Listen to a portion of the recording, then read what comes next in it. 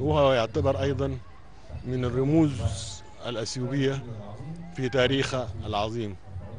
برحيله فقد الشعب الأثيوبي جزء من تاريخه السياسي ولكن العلاقة بين السودان وأثيوبيا حتظل متقدمة ومتنامية لأن هي علاقة استراتيجية بين البلدين. والشعب الأثيوبي قادر على أن يأتي بقائد عظيم مثل ميليس جناوي لأنه الحزب الحاكم في أثيوبيا هو اللي هو اللي حيجيب رئيس مجلس الوزراء الجاي.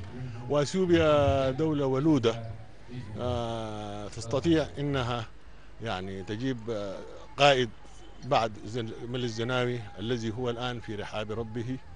ونتمنى له الرحمة وبعد أن انتقل إلى الامجاد السماوية هو في رحاب الله. Um,